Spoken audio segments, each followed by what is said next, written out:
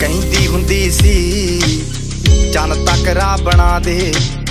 ਤਾਰੇ ਨੇ ਪਸੰਦ ਮੈਨੂੰ ਹੇਠਾਂ ਸਹਾਰੇ ਲਾ ਦੇ। ਉਹਨਾਂ ਤਾਰਿਆਂ ਦੇ ਵਿੱਚ ਜਦੋਂ ਮੈਨੂੰ